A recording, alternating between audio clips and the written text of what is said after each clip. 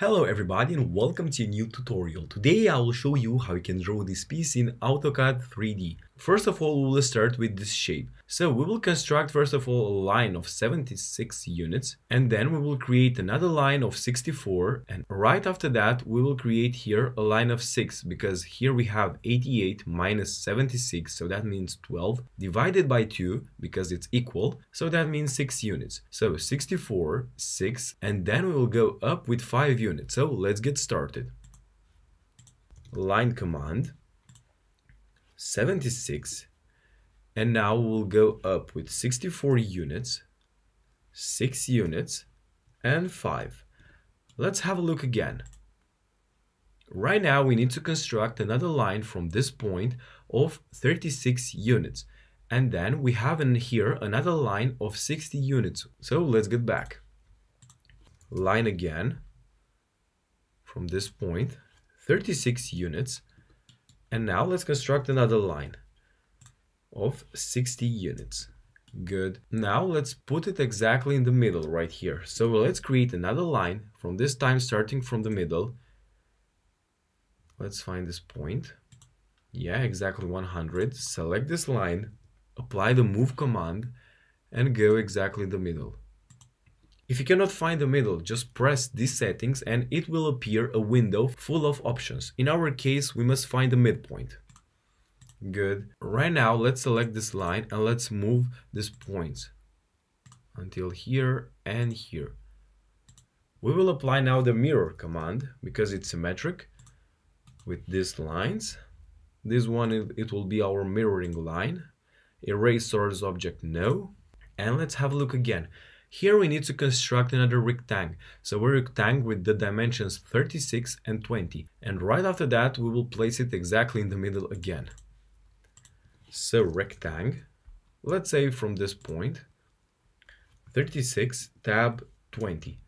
Select the rectangle, press move, select this middle until here. Now let's have a look again because we need to construct four circles. So with a radius of 27, radius of 19, diameter of 38 and a diameter of 20. But because these two circles are the same, we have basically just three circles. Diameter 20, radius 19, radius 27, exactly from this middle. So circle command from this point, radius 27 circle again, radius 19, and the last one, circle from the same center, D from diameter and press 20. Good, right now let's select the entire drawing. And let's apply the trim command. And here as well. We can now delete this part Activate again the trim command and delete this part too. Good. Let's have now a better look here. And now it's the time for the press pull. So here we have a thickness of 40 units. With the first circle we have 20 and with the other one, with the other arch, we have 20 plus 10. So that means 30 units. So press pull for this time 40. Let's switch the drawing. The command still is active the other one 30 and the smaller one 20 let's have a look now. So change into shaded with edges. And here it is. Okay now let's select the entire drawing and write rotate 3d shift right click endpoint select for example this point and now write the angle. So I'll press 90 and now our drawing is better. Good.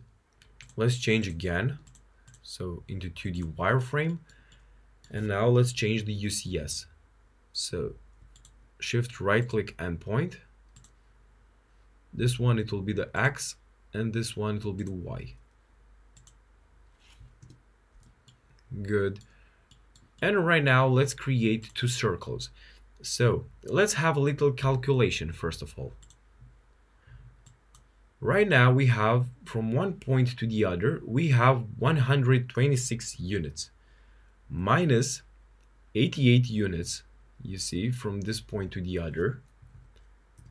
And now divided by 2. So, in other words, from this point until our center, we have 19 units. So we will create a circle with 19 units here on the x-axis and with the y-axis we have 20 units because it's exactly in the half. So let's go back to our drawing.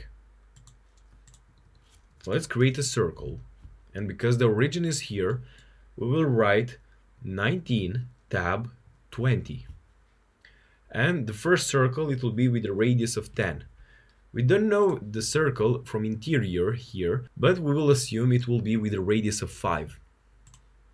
So circle, press 5. Now let's construct a line from this quadrant point until we reach this edge. So shift right click perpendicular.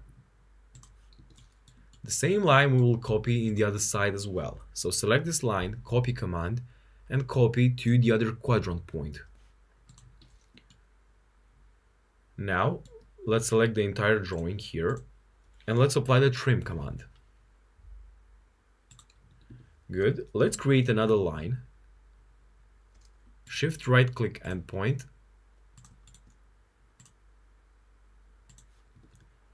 Select this line, select those two lines this one, this one, and this arch, and press join to have one single boundary here. Now we will apply the press pull, but we will apply the press pull just with 10 units. So press pull, select the surface. Be sure you have the good surface because it's very, very important. Okay with 10 units. Now let's apply again the press pull but for this time for this circle. And let's build it up. To be even more clear we will apply now the subtract command. So select the first object and the second object.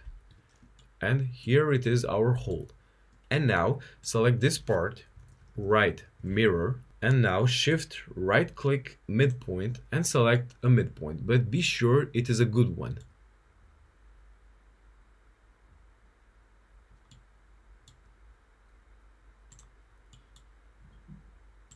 Erase source object no. And here it is. Our drawing now it's complete I hope this video helped you. If you have questions, don't hesitate to let them in the comments below. As always, don't forget to like, share, subscribe and see you next time.